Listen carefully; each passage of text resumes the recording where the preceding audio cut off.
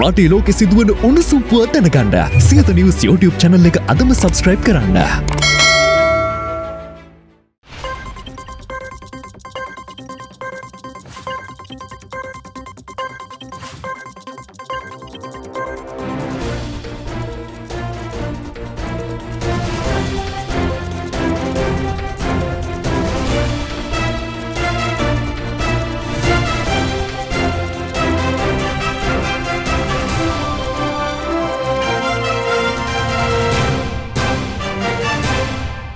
අයිපවන් කාලීන ප්‍රවෘත්ති වාර්තාකරණයේ ප්‍රමුඛයා හරිදේ හරියටම කියන සියත උදෑසන ප්‍රවෘත්ති විකාශය සමගින් මම අනුරාධා රණසිංහ.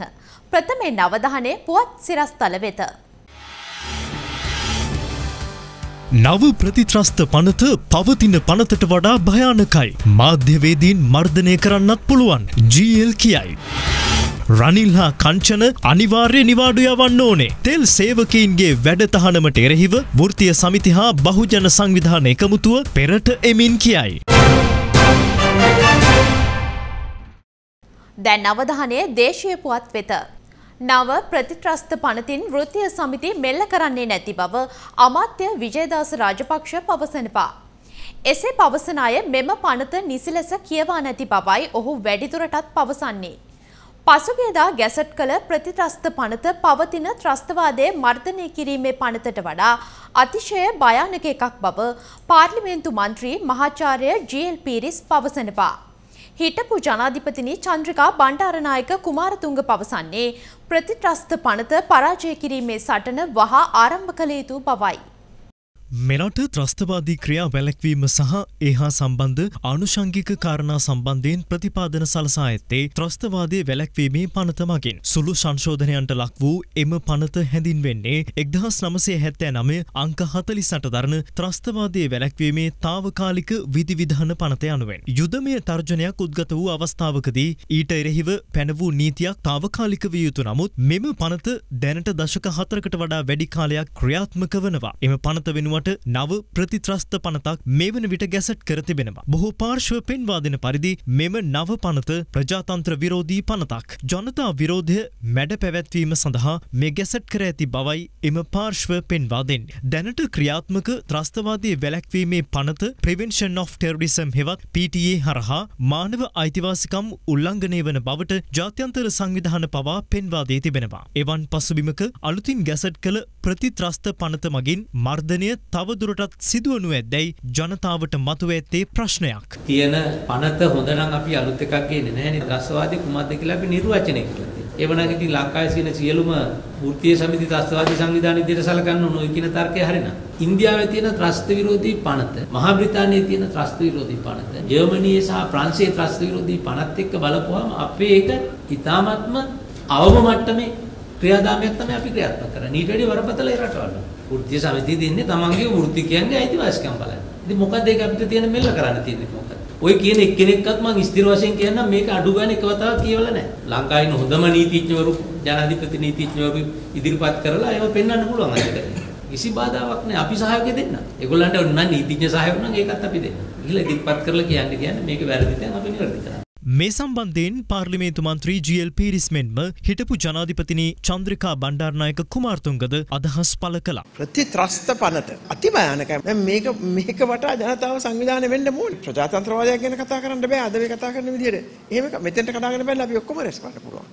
ඔය කියන දේවල් එකේ තියෙනවා නම් ඊට විරුද්ධව දැන් අපිට සටන පටන් ගන්න වෙනවා. දැන් ගැසට් කරලා තියෙනවා දවස් 3කට ඉස්සෙල්ලා ඇන්ටි ටෙරරිසම් බිල් අතිශයින් භයානකයි. තිබුණ එකට වඩා 10 ගුණයක් භයානකයි. පෙළපාලි ගියොත් ඒක ටෙරරිසම් වෙනවා. අත්අඩංගුවට ගන්න පුළුවන්. මාධ්‍යවේදියෙක් මේ පින්තූරයක් අරගෙන මොනවා හරි ලිව්වොත් ඒ අය හිරේ දාන්න පුළුවන්. හැම DIG කෙනෙකුටම පුළුවන් ඩිටෙන්ෂන් ඕඩර් එකක් ඉෂු කරන්න. ඒක අභියෝගයට ලක් කරලා උසාවිය යන්න බෑ. නීතිපතිතුමාට කියන්න පුළුවන් ඔබතුමාට විරුද්ධව සාක්ෂි තියෙනවා. හැබැයි මම දැන් අඩු දාන්නේ නැහැ. අවුරුදු 20ක් ඒක පරක්කු කරනවා. අවුරුදු 20ක්. එතකොට ඒ අතර කොහොමද හැසිරෙන්නේ කියලා කියනවා. එහෙම නැත්නම් පුනරුත්ථාපන කඳවුරු වලට යවන්නේ නැහැ කියලා. අනිවාර්යයෙන්. ඊට පස්සේ restriction orders. මෙතන ඉඳන් අතෙන්ට ඇර වෙන කොහෙවත් යන්න බෑ. මේ ඔක්කොම මේ පනතේ තියෙනවා. ඉතින් විපක්ෂය අනිවාර්යෙන් ශ්‍රේෂ්ඨාධිකරණයට යනවා ඒකට විරුද්ධව. මේ පනත සම්මත කළොත් ඊට පස්සේ ප්‍රජාතන්ත්‍රවාදය ගැන කතා කරන්න බෑ කොහෙද. ಖನಿජ තෙල් වෘත්තීය සමිතිය මානව හිමිකම් කොමිසමට පැමිණිල්ලක් ඉදිරිපත් කිරීමට සූදානම් වන බවයි වාර්තා වන්නේ. ඒ සේවකයින් අනිවාර්ය නිවාඩු යැවීමට එරෙහිවයි.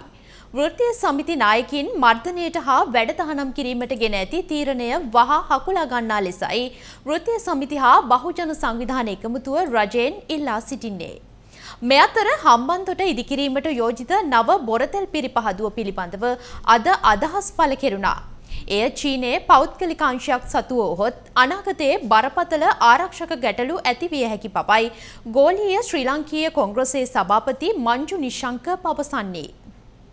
කනිජ තෙල් සේවකින් පසුකේද ආරම්භ කළ වර්ජන ක්‍රියාමාර්ගය හමුවේ සේවකින් විසි දෙනෙකු අනිවාර්ය නිවාඩු ගැන්වීමට රජය කටයුතු කළා. ඒ අනුව ඊට එරෙහිව කනිජ තෙල් වෘත්තීය සමිති මානවහිමිකම් කොමිෂන් සභාවට පැමිණිලක් ඉදිරිපත් කිරීමට තීරණය කර තිබෙනවා. මෙම වර්ජන ක්‍රියාමාර්ගය ආරම්භ කළේ විදෙස් සමාගම් තුනක් සඳහා මෙරට තුළ කනිජ තෙල් අලවියට අවසර ලබා දීමට අමාත්‍යවරයාගත් තීරණයකට එරෙහිවයි. මේ අතර වෘතිය සමිති නායකින් මර්ධනය හා ඔවුන්ගේ වැඩ තහනම් කිරීමට රජයකත් ක්‍රියාමාර්ගය වහම හකුලා ගත යුතු බවයි වෘත්ති සමිති හා බහුජන සංවිධාන එකමුතුව පවසන්නේ. මේ වෘත්තිය සමිති කියන්නේ මොකද්ද? මේ වෘත්තිය සමිති සියල්ලම කම්කරු දෙපාර්තමේන්තුවේ ලියාපදිංචි වෘත්තීය සමිති. වෘත්තීය සමිති ආඥා පනතේ තමන්ගේ සමාජිකය වෙනුවෙන්, තමන්ගේ රටේ වෙනුවෙන් සියලු අකටයුතුකම් වෙනුවෙන් පෙනී සිටින්න නිල නීත්‍යානුකූල අයිතිය තියෙනවා. නිසා මේ නීත්‍යානුකූල අයිතිය යට කරගෙන යන්න තමයි මේ යන පලස් සකස් කරන්නේ. ඒ නිසා අනිවාර්යෙන් රනිල්ට මේ සියල්ල හකුලගෙන යන්න සිද්ධ වෙනවා. ඒක ඒකාන්තයි. ඒක වළක්වන්න මොන පනත ගෙනාවත් ඉඩ තියන්නෙත් නැහැ, ඉඩ දෙන්නෙත් නැහැ. සේවකයෝගේ වැඩ තහනම් කිරීමේ ක්‍රමවේදයක් තියෙනවා. ඒ ක්‍රමවේදය අනුගමනය කළාද?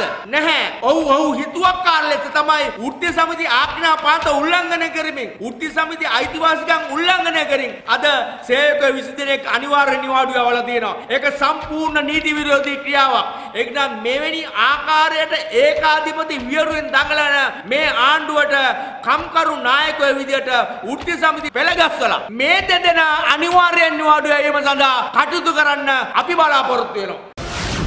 අපි ආණ්ඩුවට ගෙන වෘත්තිය සමිති ක්‍රියාවලියට අත්තතිබීම වහම ඉවත් කරන්න ආයතන ඇතුල්ලීම තහනම් කල තියෙන විසි දෙනා වහම ආයතන ඇතුළයම් දිය යුතුයි ඇමතිවරයට ලියවමකින් බලය නෑ අනිවාර්ය නිවාඩුවන්න තාම ඔබලගේ මර්ධන ත්‍රස්තවාදී පනත සම්මත වෙලත්නෑ එහෙමත සම්මත වනානං විසිදාට ඉන්ඩවෙන පුළෘත්තාපන කඳුරල අප්‍රේල් තුන්ගෙන්ද සමස්ත ජාතික වැඩවර්තිකට යෑම සඳහා සියලු වෘතිය සමති ඒකාබද්ධව කටයුතු කරන.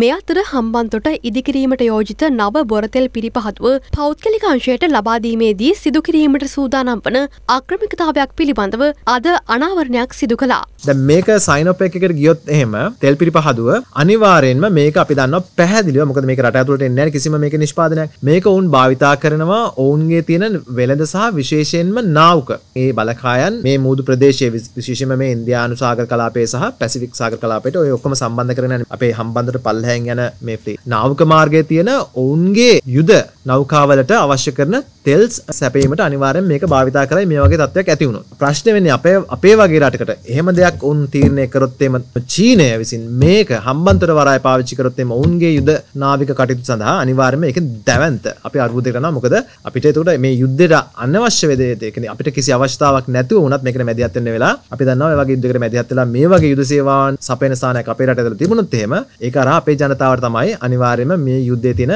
ඉතාමත්ම දරුණු ප්‍රතිඵලවලට මුහුණ දෙන්නට සිද්ධ වෙන කෙනෙක්. කිසි අපේ රටේ මේ ආර්ථිකයත් හොඳටම බිමට වැටලා කඩන් වැටලා ඉතාමත් අමාරුවෙන් නැගිටින අවස්ථාවක මේ වගේ දෙයකට අපිට මැදිහත් වෙන්නට වුණොත් එහෙම අපේ අකමැත්තෙන් මේ වගේ ගන්න මෝඩ තීන්දුව తీරන ඉඳා මං කියන්නේ රටට යන තත්ත්වය ගැන ඉතාමත්ම භයංකාර සහ කනගාටුදායක තත්ත්වයක්. රටේ වත්මන් තත්ත්වය සම්බන්ධයෙන් ඇසුණු කතා දැන්. මිනිස්සු හරියට ඉන්නේ අර ඉඩෝරයකට පොදවැස්සක් වගේ පොඩි සන්තෝෂයක. ද ඊයේ මධ්‍යම රාත්‍රියේ සිට තෙල් මිල අඩු කරාම සමහර අය මේක අර්ථ නිරූපණය කරන්න උත්සාහ කරනවා ආණ්ඩුව ඇවිල්ලා ජනතාවට දුන්න සහනයක් කියලා. තෙල් මිල අඩු කිරීම රජය ලබා දුන්න සහනයකට වඩා ලෝක තෙල් මිල තාමත්ම බරපතල ලෙස අඩුවීමේ ප්‍රතිඵලයක් බව ඔබට කියන්නට ඕනේ. අපි කියන්නේ මේ කරන දේවල් විනිවිද පෙනෙන ආකාරයට රටට උපරිම සහන එන ආකාරයට ජනතාවට සහන එන ආකාරයට කළ යුතුයි. විනිවිද නොපෙනෙන ආකාරයට එක එක්කෙනාගේ උවමනා අවශ්‍යතා මත සිදු කරන වැඩපිළිවෙල මං හිතන්නේ අපිට පිළිගන්න බෑ. මේ රටේ අනිවාර්යයෙන්ම ප්‍රතිව්‍යුහගතකරණය කළ යුතුයි රාජ්‍ය ආයතන. හැබැයි ඒ කරන ක්‍රමය පිළිබඳ පැහැදිලි ප්‍රශ්නයක් තියෙනවා. රාජ්‍ය ආයතන තියෙන 420කට ආසන්න ප්‍රමාණයක්. ඒ කියන්නේ 34ක් අන්ත දූෂිත කියලා වාර්තා වෙලා තියෙනවා විගණකාධිපති වාර්තා තුල. අවශ්‍ය ප්‍රමාණයට පුද්ගලිකකරණය කිරීමේ අවශ්‍යතාවයක් දැන් මතුවලා තියෙනවා. ඉතින් මේ අර්බුදකාරී අවස්ථාවක් තුළ දැඩි තීන්දුව අරගෙනවිල්ලා රට නීතිමාවතර ගෙන යන එක දේශපාලන පක්ෂ විපක්ෂ ආණ්ඩු කරන ආණ්ඩු නොකරන හැමෝගෙම වගකීමක්. මතයක් අරන් යනවා අපි මේ අපේ රටේ තියෙන සියලු දේ විකුණනවා කියලා. අද වෙනකන් එහෙම කිසි දෙයක් වෙලා නැහැ. අර ෂෙඩ් වාගයක් මම හිතන්නේ පුද්ගලික කොම්පැනි වල ලබා දීලා තියෙනවා. ඒක හොඳ දෙයක්. මොකද ඒගොල්ලන් ලබා දීලා තියෙන අපේ ආණ්ඩුවට බරක් නැහැ. ඒගොල්ලන් තෙල් ටික අරන් ඇවිල්ලා තෙල් ටික අපේ රටේ ජනතාවට දෙනවා. ඒත් සමගින් උදැසන ප්‍රවෘත්ති විකාශය අවසන් වෙනවා. යළිත් හමුවෙමු දහවල් ප්‍රවෘත්ති විකාශය සමගින්. ඔබට සුබ දවසක්.